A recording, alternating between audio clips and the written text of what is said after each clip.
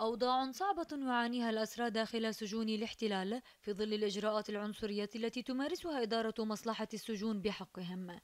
تزداد هذه الأوضاع صعوبة خلال فصل الشتاء نتيجة النقص الشديد في المستلزمات الشتوية للأسرى من ملابس وأغطية ووسائل تدفئة.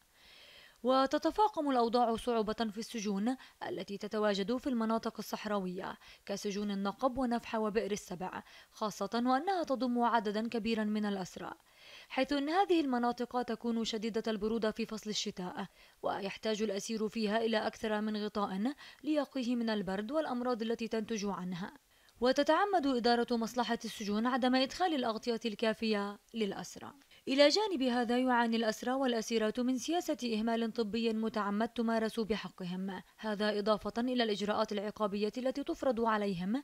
منها الحرمان من الزيارات وتصعيد سياسة العزل الانفرادي وتكثيف عمليات الاقتحام لأقسام السجون. وكل تلك الإجراءات تهدف للنيل من عزيمة الأسرى وكسر صمودهم. حنين الحلو تلفزيون فلسطين.